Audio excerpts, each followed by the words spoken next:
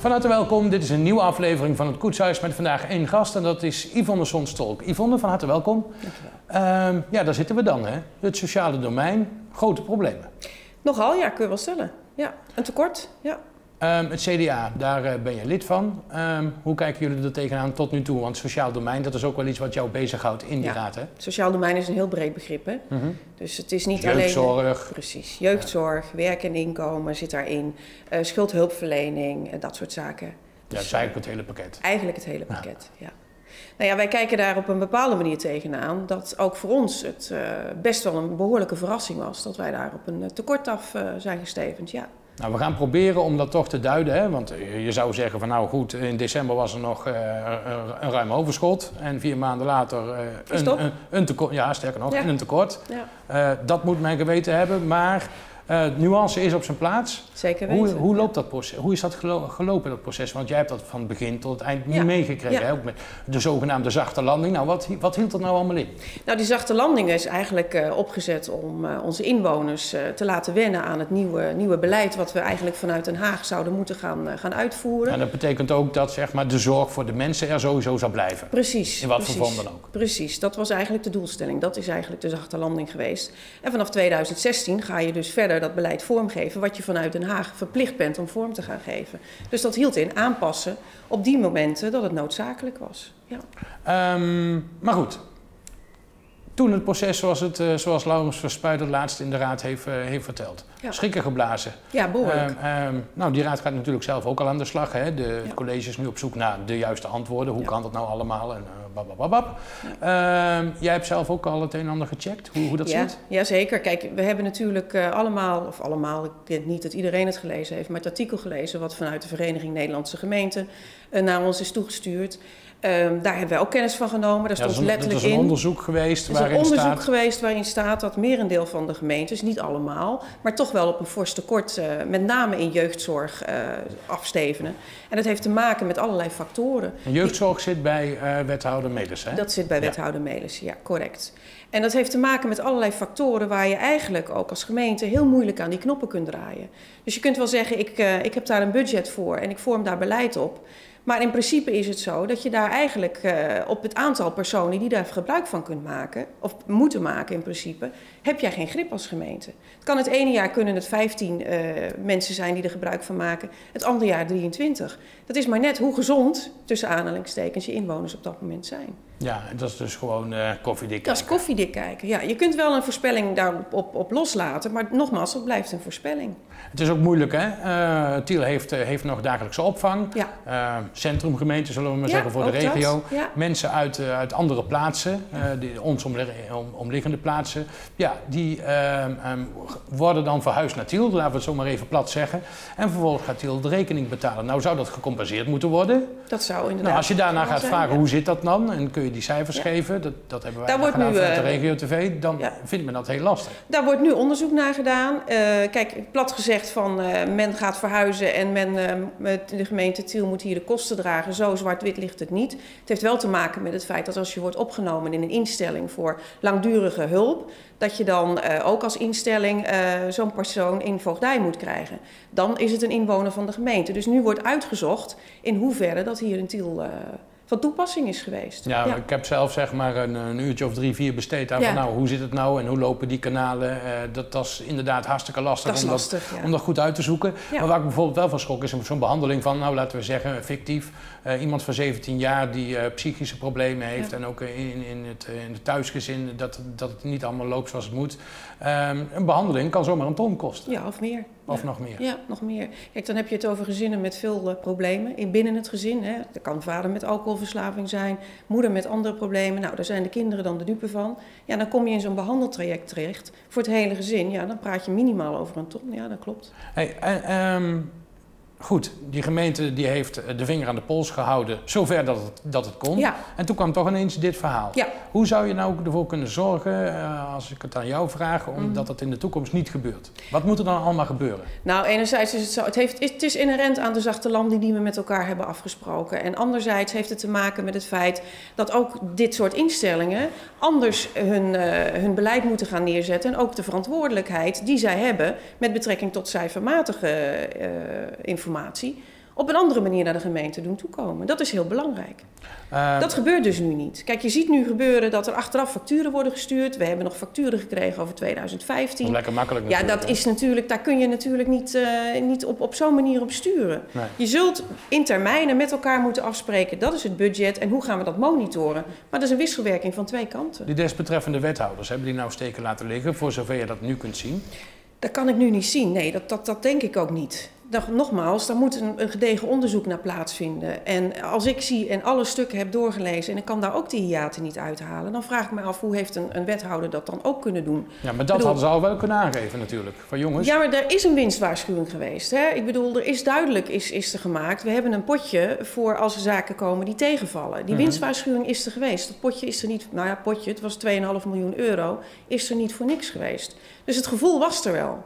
Maar aan de andere kant, om het, om het dan zo uit, uh, uit de bocht te zien vliegen, ja, dat heeft niemand zien aankomen. Nee, nee daar ben ik echt van overtuigd. En ook die raad heeft natuurlijk wel ook nog op het sociale domein uh, extra geïnvesteerd. Hè? Bijvoorbeeld Absoluut. in, in uh, dynamiek dat dat bleef bestaan. Nou ja, en schoolzwemmen hebben we natuurlijk ook uit, uh, uit, een, uh, uit een potje gehaald. Ja. Dus ja, wij, wij waren er ook in, wij waren in diezelfde veronderstelling dat wij geld over hadden om zaken te doen. Nou, ja, die dus perspectievennota die komt eraan. Ja. Hè, van waar willen we geld aan uitgeven ja. en, en wat niet.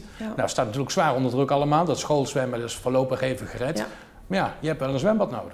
Klopt, ja. Nou ja, laten we eerst maar eens even kijken wat de daadwerkelijke schade is. het onderzoek afwachten. We hebben als raad ook gezegd, we willen een extra raadsvergadering om hier met elkaar en met de ambtelijke organisatie uh, de diepte in over te gaan. Daar waar het nodig is, hè? Zal, Daar, ja. zal het CDA eh, met de vinger gaan ja, Zeker weten. Ja? ja, we hebben er altijd bovenop gezeten. Dat is natuurlijk politiek interessant, ook naar de eigen wethouder? Ook naar de eigen wethouder. Dat hebben we de afgelopen periodes gedaan en dat blijven we doen, ja zeker. Ja, hoe, hoe, hoe zorgt dat nou voor, voor de verhoudingen? Ben ik al zo benieuwd naar. Nou, die verhoudingen zijn prima. Het is een duaal systeem natuurlijk. En uh, je, je, leest de stukken en daarop, uh, daarop geef je, je je aantekening en je mening. En dat geef je ook mee aan het college. En dat maakt niet uit of het de wethouder van je eigen partij is... of van de VVD, Partij van de Arbeid of D66 die, die kritische blik die moet je altijd hebben. Ja. Die hebben we ook. Ja. Absoluut. Maar goed, eh, er wordt wel politiek gespeeld natuurlijk, links-rechts. Want het is een hele belangrijke periode eigenlijk. Hè? Volgend jaar de verkiezingen. Eh, de stellingen worden nu ingenomen, laat ik het zo maar even zeggen. Uh, hoe zit dat met jouw rol? Met mijn rol is op dit moment echt kijken wat, uh, wat we de laatste tijd nog, uh, nog moeten gaan doen voor onze inwoners. Dat vind ik belangrijker dan de verkiezingen die in maart komen. Ja, je hebt er ooit eens een keer in het koetshuis verteld dat je het ambieerde om, om wethouder te worden. Is dat nog steeds zo? Ja, maar niet op deze korte termijn. Nee. Nee, oké. Dus je wil nog wel een, een, periode, zeg maar, even leren? Absoluut, ja. Mhm. Ik vind, uh, mijn ambitie ligt op dit moment in de, de, de, de raad. Dat vind ik leuk. En uh, ik vind het ook goed om die controlerende taak uit te voeren. En het fractievoorzitterschap? Ja, ook wellicht. Ja, absoluut. Ja. Um, kijk, want dat is natuurlijk spannend. Hè? Uh, Henk Driessen, de wethouder. Mhm. Tom van Oostrum is nu fractievoorzitter. Mm Die heeft al heel vroeg aangegeven van nou, ik wil ook wel eens een keer wethouder worden. Klopt, ja. En die heeft uh, ook gezegd van nou, ik steun uh, de, de, wethouder. Maar op een gegeven moment is het voorbij. Ja. Hoe, hoe, ligt dat op dit moment? Op dit moment kan ik alleen maar zeggen dat het houtskooltekeningen zijn. Waarbij we met elkaar aan het kijken zijn wat het beste is voor de politieke partij op dit moment. En wat ook natuurlijk niet duidelijk is of de wethouder door wil gaan of Precies, daar weten wij ook nog niks van. Maar, zal, na de zomer zal dat kenbaar Na de zomer wordt dat dat denk ik wel. Kijk, dat speelt bij het CDA, dat speelt bij andere partijen. Stel nou, eens voor, stel nou eens voor dat, al, uh, dat ze allebei willen. Wat dan? Ja, dat is tussen de twee heren. Dat is iets wat, uh, wat de twee heren samen moeten, moeten bekijken. Wie, en wie is de geschikte kandidaat? Op dat moment. Ja, en, en, jij speelt daar ook nog een rol in straks, of, of eigenlijk niet? Ja, nee, kijk, bij het CDA is het zo, en dat zal bij meerdere landelijke politieke partijen zo zijn. Daar is een kiescommissie. De leden beslissen uiteindelijk wie zij op de beste plaats en de hoogste plaats willen zetten. Ja, daar gaan wij niet over. Nee, We hebben wel een stem zijn, daarin. Het zijn inderdaad de leden die het moeten Maar de leden hebben het eind, uh, de eindvoot, ja, absoluut. Oké. dus nou. wij kunnen wel zeggen van, goh, ik wil zus of ik wil zo. Maar uiteindelijk zijn het de leden van het CDA die bepalen wie wat op welke plaats. Ja. Nou, jij uh, manoeuvreert lekker eh, binnen die raad. Hè? Jij doet dat mhm. bijvoorbeeld ook bij de kinderraad. Hè? Ja, dat, dat, dat, dat, ondersteun jij van harte. Ja. Um, hoe gaat het daarmee? Hartstikke goed, moet ik zeggen. Die kinderraad is, geniet steeds meer bekendheid hier in de gemeente Tiel. Worden ook steeds meer gevonden door organisaties. Nou, we hebben laatst hebben we Puberaal gehad. Die, die heeft de kinderraad meegetrokken in een programma. Omdat een van de kinderraadsleden bij Puberaal zeg maar, in het programma zat. Nou, was dat is een programma van de NPO? Dat is een landelijk mhm. programma van de NPO. Dat was een van de raadsleden van de kinderraad, was daar in dat programma. Mhm. En ja, daar hebben we een wisselwerking mee gehad. De burgemeester heeft daar nog in meegenomen, was superleuk. Ja komt er ook nog iets uit? Jazeker, ja. De kinderen zijn op dit moment bezig met een, een uitrol van een project. we kennen waarschijnlijk hier in Tiel allemaal de Kerkstraat. Die heeft nou niet de meest mooie, mooie straat om doorheen te lopen. Er is een, een pand wat eigenlijk redelijk vervallen is. Er staat een, een soort schutting omheen. En die wordt in de zomer verfraaid met kunst. En dan ga ik een moeilijk woord zeggen, waar mensen al gelijk misschien zo zeggen van, oh jakkers, gravity. Een gravity wall wordt daar gemaakt. Mm, dat kan ook mooi zijn. Maar niet met verf, maar met, okay. uh, met mos. Het wordt een, uh, een, gravity wall van groen, met allerlei soorten mos. Oh, grappig. Dus dat is heel iets anders. En okay. dat is ook op verzoek van de bewoners van de Kerkstraat. Die wilden iets met die muur. En de kinderraad heeft gezegd, nou, dan gaan we er iets mee doen. Dus daar... Uh, wordt hard aan gewerkt. En jij bent ook bezig met uh, de, de zomerschool. Hè? Ja. De, de Summer School is een aantal jaren geleden ja. opgezet vanuit uh, het raadsthema van, ja. van de gemeente. Um, zijn daar nog ontwikkelingen? Jazeker, ook dit jaar uh, gaat de zomerschool weer van start. En dat zal plaats gaan vinden in de week van 15, 16, 17 juli. Die komt rijden, mm -hmm. zoals het nu, nu gepland staat. En dan doorlopen tot 6 september. Met allerlei andere cursussen waarbij... Uh, Geldt dat voor iedereen of is het met name voor ouderen bedoeld? Het is met name voor ouderen bedoeld. Denk dan aan, moeten we, waar moeten we aan denken? Ja, 60 plus, rond die koers. Ja, en ook de, de activiteiten die er plaatsvinden? Um, nou, onder andere uh, stuk op preventie. Uh, er zal vanuit het Rode Kruis zal er een aantal cursussen worden gegeven. Valpreventie. de brandweer gaat meedoen weer met brandveiligheid. Uh, daarnaast hebben we ook leuke handvaardigheidscursussen voor dames die, uh, die zich op een andere manier uh, ja, bezig willen zijn. Um, rijvaardigheidscursus. De iPad is elk jaar weer een terugkomend feit, want heel veel -hmm. ouderen gaan met die iPad aan de slag. Die zit er ook weer in. Dus ja, roept u maar eigenlijk van alles en nog wat. Als in. kijkers nu getriggerd worden, um, hoe kunnen ze zich aanmelden of zien wat er allemaal gaat plaatsvinden? Ja, ook dit jaar is de zomerschool weer ondergebracht bij het servicepunt thuiswonen. En medio juni zal een en ander op de website daar weer verschijnen met een aanmeldingsformulier. Maar ook in de kranten zullen, zullen de meldingen worden gemaakt. Dus, Oké, okay, uh, dus dat is gewoon ja. uh, zeg maar de, de, de media blijven ja, volgen. precies. Over die media gesproken, hè? Ja. Uh, we hadden het er in het vorige gesprek ook al over. als we het beschouwen hoe, hoe het klimaat er op, op het ogenblik uitziet. Niet alleen in Tiel, maar in de hele wereld. Wat vind jij daar nou van? Ja, dat, ik, ik vind het best een lastig klimaat. kijk, met social media, iedereen heeft een mening. Mag ook, hè? maar die mening is soms ook wel uh, dat ongenuanceerd. Als je ziet wat je over je afgeroepen krijgt als je bepaalde zaken ter discussie stelt, mm-hmm. ja, dan is dat wel eens schokkend wat mensen daarvan zeggen en, en hoe mensen daarover tekeer gaan. Ja, vind ik wel. En, en wat daaraan te doen?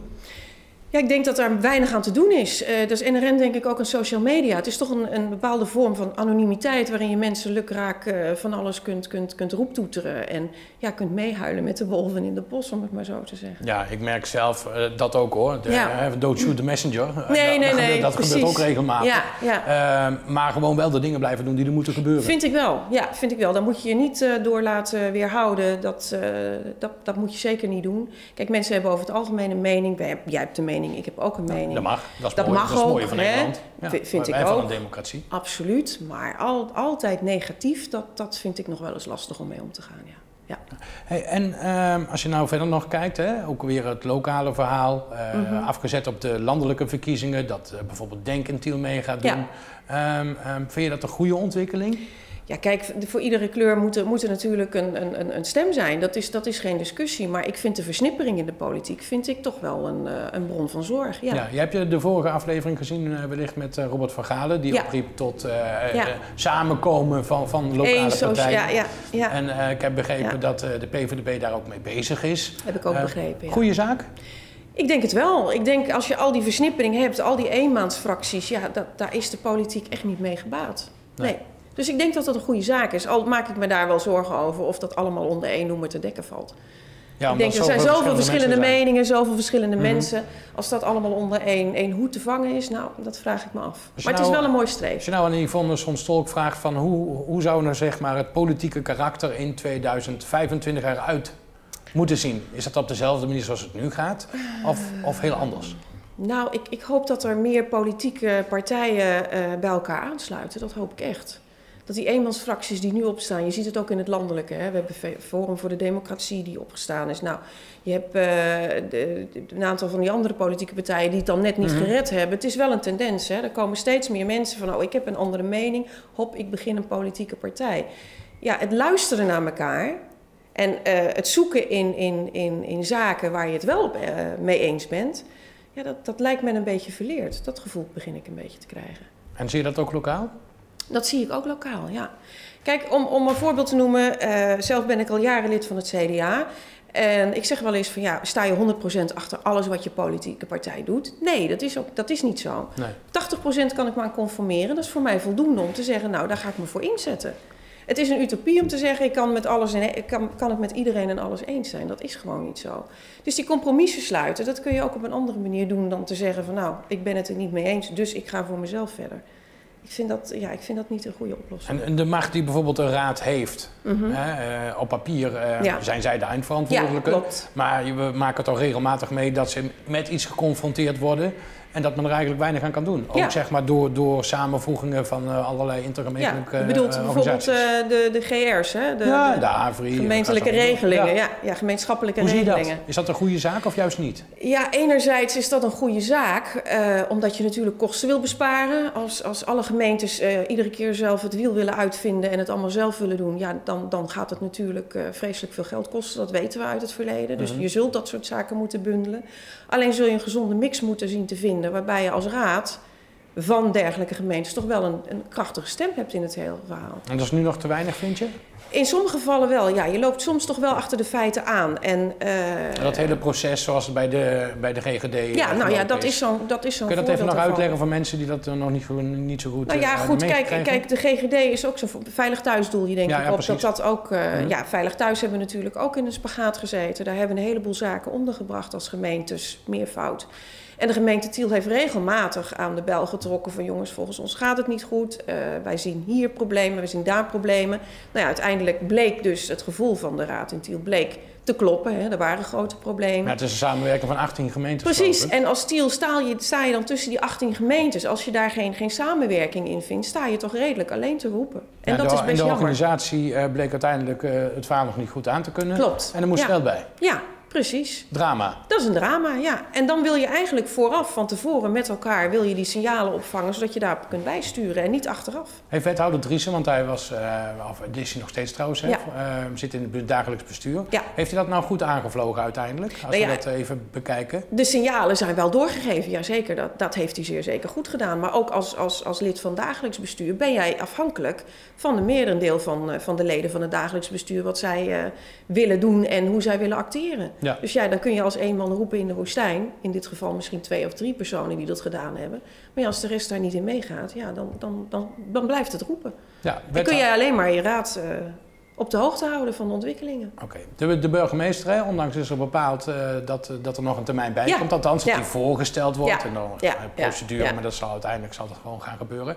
Um, hij zit lekker in zijn vel, hè? vind je niet? vind ik wel, ja. ja. Toegankelijk. Dus ik vind het echt een, uh, een toegankelijk persoon die ook voor iedereen eigenlijk wel uh, makkelijk aanspreekbaar is. Ja. Nou, ook mooi om te zien dat hij echt wel met die stad bezig Absoluut. is om dat op elkaar te zetten. Niet alleen in de regio, maar ook landelijk. Precies. En dan zal het ene zal wel functioneren, het andere niet. Maar, dat is wat anders. Maar maar dat, wat vind je bijvoorbeeld van die kersenparty hè, die eraan gaat komen? Ja, vind ik leuk. Zeg maar een combinatie van, nou oké, okay, in Scheveningen hebben ze daar ja, een party. wij hebben onze eigen party met de kersen. Ja, vind ik hartstikke leuk. Dat is een leuk initiatief. Absoluut. En dat zal ook wel eens weer zijn spin-off hebben. Tuurlijk, absoluut. Nou, hartstikke goed. Ja. Hey, tot slot, uh, wil je nog iets kwijt?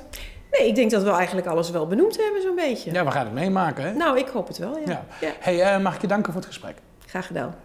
Tot zover deze aflevering van het Koetshuis. We zijn er volgende week weer. Graag tot dan.